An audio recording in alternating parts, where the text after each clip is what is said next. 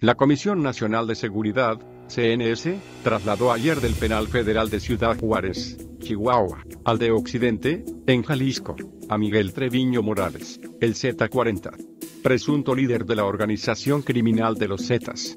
Autoridades de la dependencia informaron que el traslado se llevó a cabo como parte de la rotación de reos peligrosos que lleva a cabo el órgano administrativo desconcentrado de prevención y readaptación social, o ALPRES. Estos cambios de penal los realiza cada cierto tiempo la autoridad penitenciaria, sobre todo a raíz de la fuga de Joaquín Guzmán, el Chapo, para evitar planes de evasión e impedir que se conformen grupos de reos al interior de los penales.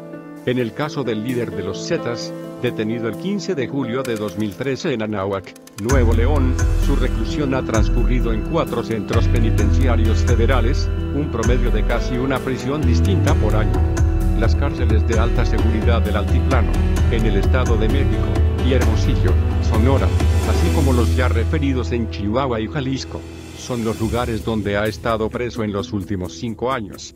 Contra el Z40 están en curso dos juicios de extradición a Estados Unidos, uno en un juzgado de distrito de Toluca y otro en la Ciudad de México.